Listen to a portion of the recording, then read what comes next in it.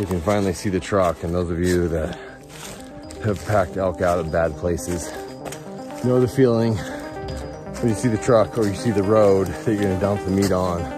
It's a good feeling.